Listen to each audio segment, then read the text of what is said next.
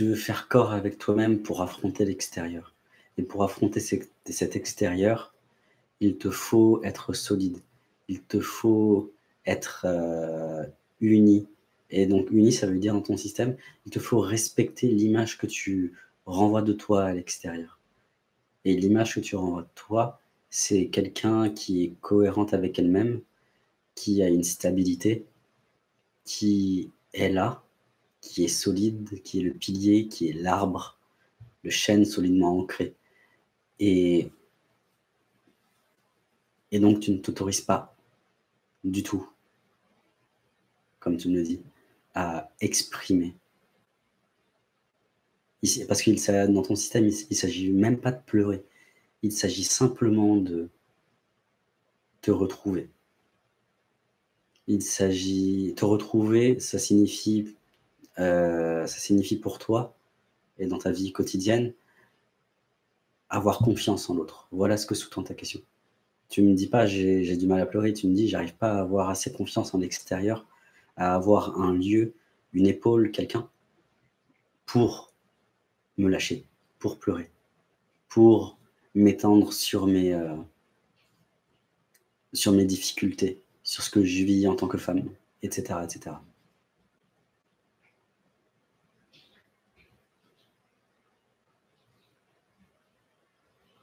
C'est fou parce que c'est doux en même temps.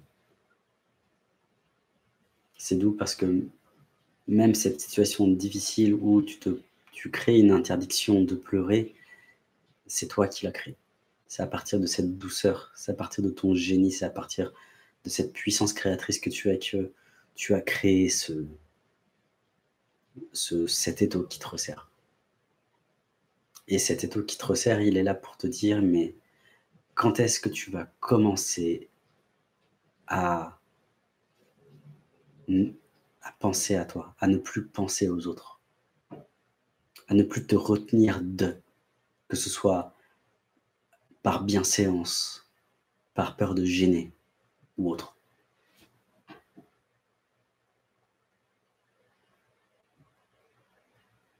Et qu'est-ce qui a créé ça? Ah. Tu fais des faux sourires. Tes sourires ne sont pas vrais. Pourquoi? Parce qu'ils ont pour origine, si je me branche, si je me branche pour savoir ce qu'il y a derrière, c'est ta faculté de pouvoir mettre de côté des parts de toi qui sont lourdes, qui demanderaient à s'exprimer et donc à guérir, à les mettre de côté pour pouvoir affronter l'extérieur. Donc en fait, je reviens sur cette... Je tourne beaucoup visiblement dans le système, parce que tu, euh, tu as la priorité d'affronter l'extérieur de manière euh, cohérente avec l'image que tu projettes à l'extérieur. Et cette image, elle est en train de te tirer une balle dans le pied et même toute une munition, parce que c'est l'image de quelqu'un de solide. Alors, qu'est-ce qui a créé ce système du coup?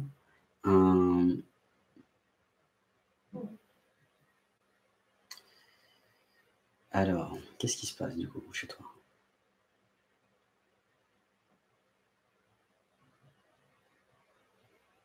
Ça me parle de vœu de chasteté. Dans ton système, qu'est-ce que ça veut dire? C'est tu as envie de vaincre les autres. Et pour vaincre les autres, tu n'as pas besoin de ton émotionnel.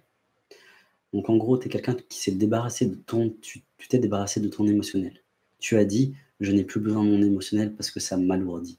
Et en faisant ça, ça t'a vraiment alourdi parce que tu as gardé le bébé. Et maintenant, tu sais plus quoi en faire de ce bébé-là. Alors, ça commence un peu à se, à se débloquer chez toi. Alors, ça me parle de priorité à l'autre, priorité à ma non-question. Donc, tu ne te penches pas sur tes états d'âme parce que je dois me trouver belle, parce que, parce que je dois me trouver acceptable. Donc, tu as intégré quelque part en toi un, je dois absolument faire bonne figure, je, dois absolument me trouver acceptable et je suis forcé à ça. Et donc, comme si on t'avait forcé à sourire alors que tu as envie de pleurer. Et donc, tu as intégré l'émotionnel comme étant quelque chose de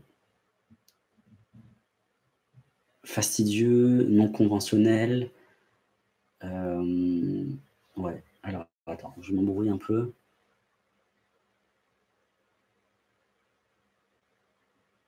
Ok, c'est en train de bouger chez toi. C'est une manière de te décentrer, c'est une manière de te esquiver l'émotionnel. Donc là, c'est une seconde lecture, c'est une seconde cartographie, pour reprendre le titre de, du webinaire. en fait, rejeter l'émotionnel te permet de manière parfaite de rejeter ton humanité. Permet de ne pas rentrer dans « Ah, mais oui, c'est ça ». Hey, j'adore. Je me sens comme Dr House euh, qui trouve euh, la cause de la maladie. C'est fou. J'adore. Euh, donc, l'émotionnel te permet d'esquiver ton humanité. Mais surtout, ne pas ressentir l'émotionnel permet de ne pas ressentir ce que tu fais subir aux autres lorsque tu es en mode je fonce et je respecte l'image de moi que je projette sur les autres. Parce que tu as un, réel pouvoir. Ouais, tu as un réel pouvoir. Donc, ton système d'ancrage qui est magnétique, comme tous les autres systèmes d'ancrage d'ailleurs. Ouais, c'est ça. Donc, en fait, ta deuxième vraie question, c'est comment incarner mon pouvoir?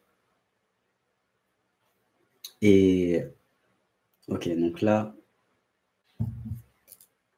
je dois noter, parce que c'est le thème de la soirée, le pouvoir.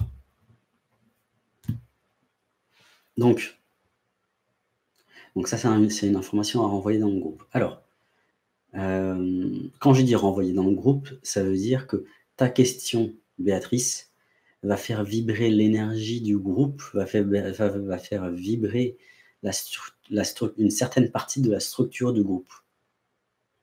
Et donc, c'est sur ça que je vais me brancher, et c'est grâce à ta question que je vais pouvoir observer, contempler à partir de mon point de vue comment fonctionne le groupe à partir bah, d'un angle de vue qui est unique, d'un angle de vue qui est spécifique et euh, qui ne durera que l'instant où je poserai ces mots-là.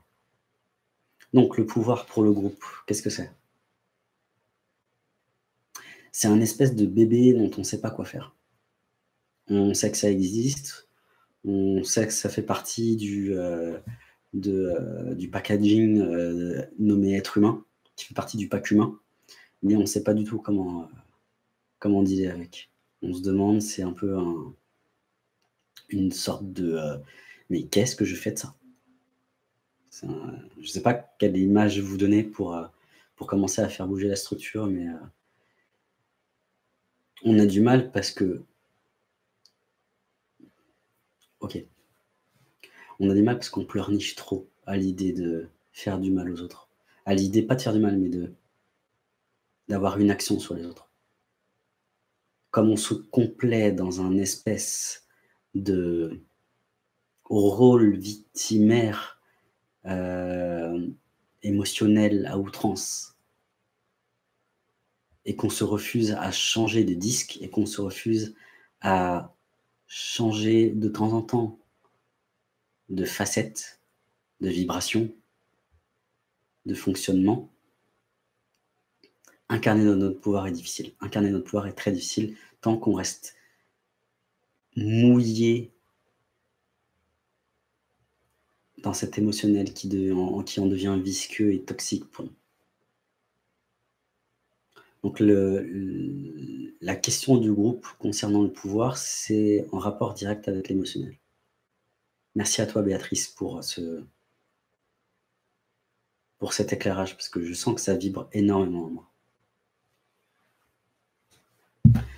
Dit autrement, dit autrement, c'est pas parce qu'on a un émotionnel qu'on ressent les choses qu'on n'est pas capable de faire bouger la matière, d'asseoir notre pouvoir sur la matière. Et voilà la croyance que l'on a tous. On pense être inapte à construire notre vie et donc ce qui sous-tend incarner notre pouvoir parce qu'on est parce qu'on se sait, parce qu'on se vit comme étant des êtres émotionnels. Donc l'émotionnel et le pouvoir sont pour nous des choses qui, sont, euh, qui ne sont pas euh, imbricables, qui ne peuvent pas aller ensemble. donc du coup, c'est quoi le... Euh, alors pour le groupe, ça commence à bouger. Ouais, ça commence à bouger. Merci. Merci pour ta question, Béatrice.